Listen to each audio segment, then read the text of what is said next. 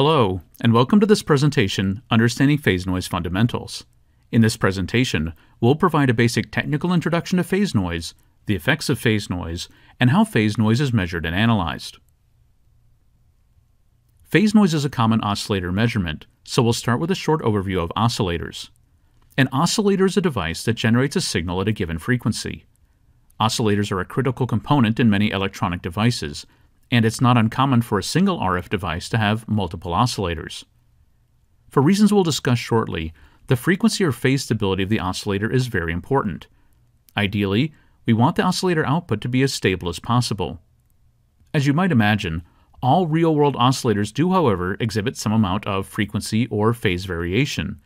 And although there are ways to minimize this variation, it can never be completely eliminated. Some level of instability is usually acceptable, but excessive frequency instability can create serious problems in many applications. Therefore, it's important that we have some way to accurately quantify or measure this level of instability. Although oscillators are often one of our primary concerns, other components or devices in the signal chain may also introduce undesired variations in the frequency or phase of the signal. The output of an ideal oscillator is usually a purely sinusoidal signal, which we can describe mathematically as Vt equals a cosine omega t plus phi. In this equation, a, the amplitude of the sinusoid, is a constant. Omega, the radial frequency, and phi, the phase shift or phase offset, are also constant. If we look at this ideal signal in the frequency domain, our pure sinusoid would appear as a single narrow spectral line, with all of its power at one single frequency. A non-ideal or real oscillator signal differs from our ideal signal in two ways.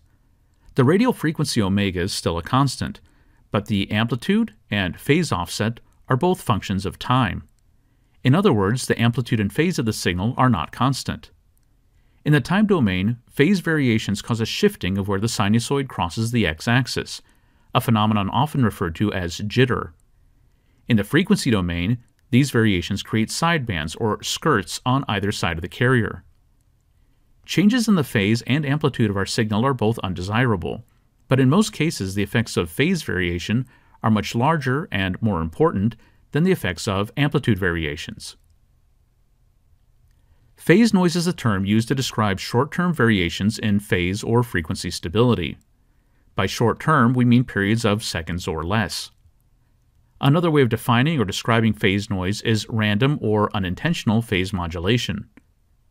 Short-term stability or good phase noise performance is very important in a wide variety of RF applications, but this short-term stability can be very difficult to obtain, with a substantial cost and complexity often associated with even modest increases in phase noise performance.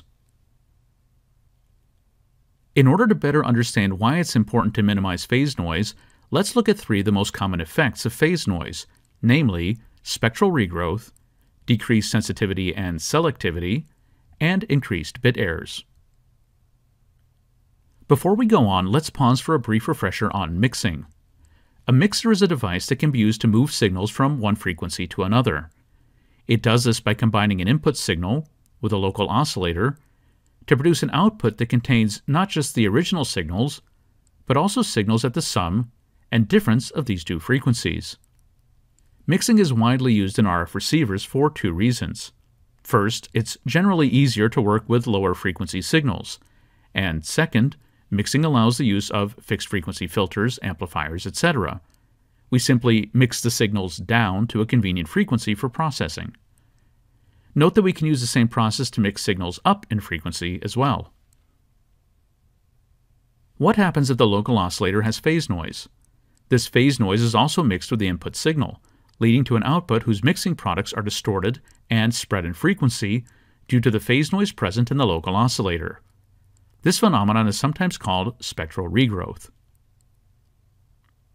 Let's look a little bit more closely at phase noise and spectral regrowth, this time with a wider bandwidth signal, such as the kind used in LTE, 5GNR, Wi-Fi, etc. If our local oscillator has low phase noise, the signal will be mostly contained within its assigned channel, with very little power leaking into the adjacent channels. But as the level of phase noise increases, we see the signal becoming wider and spreading further into these adjacent channels. and at high levels of phase noise, this regrowth or adjacent channel leakage can become quite severe, causing significant interference.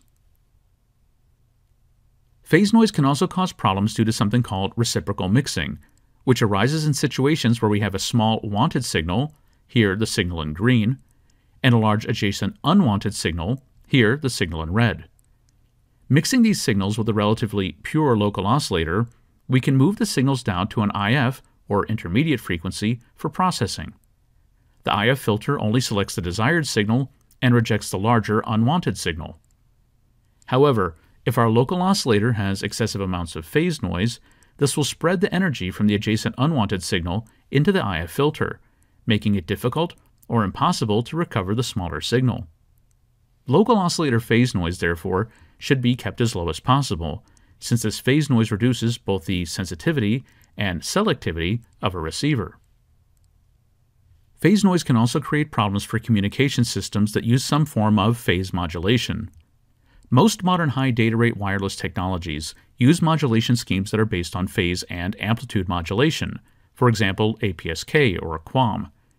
These modulation schemes are often represented using so called constellation diagrams, which are polar diagrams where each point in the constellation is a symbol with a unique amplitude and phase.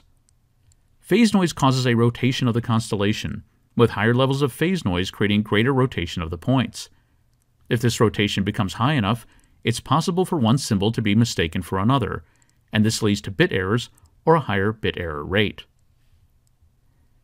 Now let's look at how phase noise is measured or analyzed. There are two types of instruments that can be used to measure phase noise spectrum analyzers and phase noise analyzers. Outwardly, these instruments often look very similar and display results in similar ways, but there are important differences between them. Spectrum analyzers are the traditional tool used for measuring phase noise. Although it's possible to measure phase noise by hand, in almost all cases, phase noise measurements on spectrum analyzers are performed using an automated phase noise measurement application, or option. The greatest advantage of using a spectrum analyzer is that it's a flexible, general purpose instrument that can be used for a wide range of other measurements. A phase noise analyzer, as the name implies, is an instrument primarily designed to measure phase noise. They usually have higher speed and sensitivity than traditional spectrum analyzers, the increased sensitivity being mostly due to the cross correlation method, something we'll cover a bit later in this presentation. In addition, many modern phase noise analyzers also have other functionality that's helpful when testing oscillators, such as the ability to measure amplitude noise and spurious emissions, or the ability to characterize voltage controlled oscillators. We'll start by looking at the spectrum analyzer or direct spectrum method, since this will also help us understand most of the basic phase noise measurement concepts and measurement results. The first step in the spectrum analyzer method is measuring the power of the carrier, that is, the nominal oscillator output signal, as an absolute power in dBm. We then move to a given frequency offset from the carrier and measure the noise power within a 1 Hz bandwidth. We then subtract the carrier power from the noise power, and the result is phase noise in units of dBc per Hertz. Note that these values will always be negative. In almost all cases, this process is repeated at different frequency offsets from the carrier, and the results will usually be different at different offsets, generally decreasing the further away we get from the carrier. In the example we just looked at, phase noise was measured at a positive frequency offset from the carrier, since the side bands created by phase noise are usually symmetrical around the carrier, the measured phase noise will be the same for a given positive and negative offset from the carrier. Here, phase noise is minus 70 dBc per Hertz at both plus 10 kHz and minus 10 kHz offsets. Therefore, phase noise is normally only measured on one side of the carrier, and this is called single sideband phase noise. By convention, Positive offsets, or the upper sideband, is used when measuring and reporting phase noise. Single sideband phase noise is measured and plotted over a defined offset range, in this case 1 kHz to 1 MHz. A logarithmic scale is used because it covers a wide frequency range, but also has finer resolution close to the carrier. We're often more concerned with close-in phase noise than phase noise at larger offsets. Since phase noise is undesirable, lower values in our phase noise plot mean better phase noise performance. Note that many phase noise plots have distinct regions in which the phase noise graph has different slopes. This is due to the fact that the causes or sources of phase noise are often different at different offsets from the carrier. In addition to the single sideband phase noise plot that we just looked at, another common way of representing phase noise measurement results is something called spot noise. Spot noise is nothing more than the phase noise measured at specific frequency offsets. By default, these offsets are usually so-called decade offsets, that is, offsets which are powers of 10, such as 1 kHz, 10 kHz, 100 kHz, etc. It's also possible to measure spot noise at arbitrary, user-defined offsets. Spot noise is commonly given in table form and is most often used to verify that phase noise at a given offset is below a specified threshold. Although it presents results in the same way, a phase noise analyzer measures phase noise differently than a spectrum analyzer. The first difference is that phase noise analyzers measure phase noise directly, typically using a special digital phase demodulator. The other important difference is related to the cross correlation function in modern phase noise analyzers. In cross correlation, the incoming signal from the DUT, or device under test, is routed through two identical measurement paths in the instrument. These identical paths have independent oscillators, each of which has slightly different, or uncorrelated, phase noise. These two paths feed a cross correlation function that can then remove the uncorrelated phase noise generated by the instrument, allowing a more precise and more sensitive measurement of the phase noise in the signal from the DUT. Increasing the number of cross correlations further increases the sensitivity, allowing the measurement of extremely low levels of phase noise. Phase noise analyzers therefore have the advantage of being much faster, especially when measuring close in offsets, as well as having much greater measurement accuracy and sensitivity. In this presentation, we've covered the fundamentals of phase noise, but there are many other types of phase noise and phase noise related measurements. Integrated phase noise measurements involve integrating over some portion of the single sideband phase noise curve.